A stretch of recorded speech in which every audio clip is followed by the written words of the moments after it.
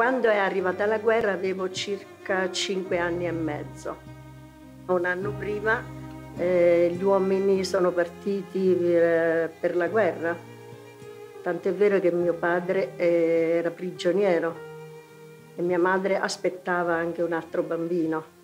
Però quando mio padre è partito prigioniero, che mia mamma piangeva sempre, ho cominciato a, ad avere un po' paura, insomma, un po' di... non sapevo che cosa succedeva e che cosa fosse la guerra.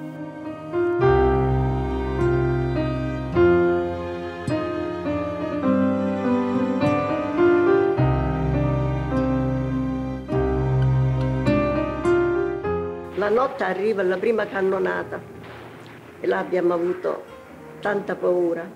Siamo scappati da lì, sempre di notte, quando era calmo, quando, e siamo andati alla grotta della valle, alle grotti della valle, che là erano tutte grotte, una presso l'altra, che avevano scavato eh, prima della guerra, cioè quando si sentiva che arrivava la guerra tutti gli uomini andavano a scavare queste grotte.